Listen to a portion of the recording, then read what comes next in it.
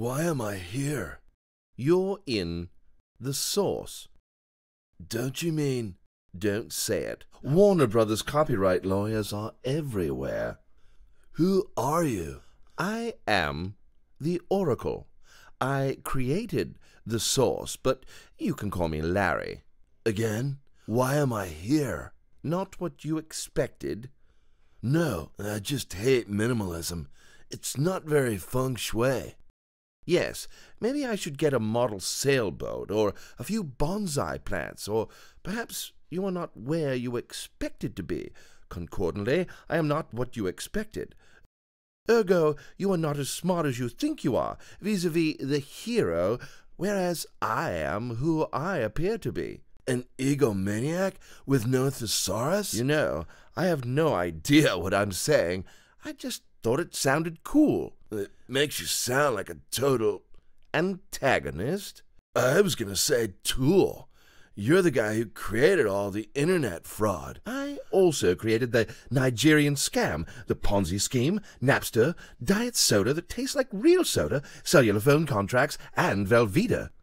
Baggage fees at airports? Of course. Hip hop? Yeah, well, that one kind of got away from me. Still, I am the supreme transcendent originator of fraud, and my agents are out there. They're in China, Pakistan, Russia, and thereafter all of those e-commerce companies and banks. You can't stop them. Ha ha! what you gonna do now? you don't get it. By utilizing Identity Minds eDNA, I can see the true identity and reputation of everyone, even you. That's not funny. Oh, yes, it is. And you better watch out. Our website has a really complicated flowchart.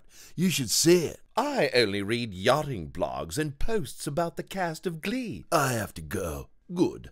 I have more important things to do. Use the door to your right, then down the hall. Uh, then there are two doors to choose from.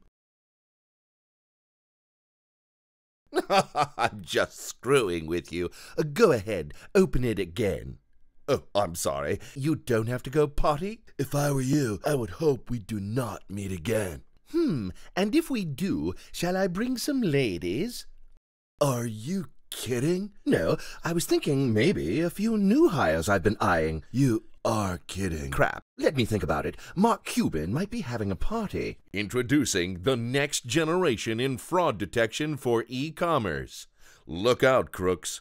A new sheriff is coming to town.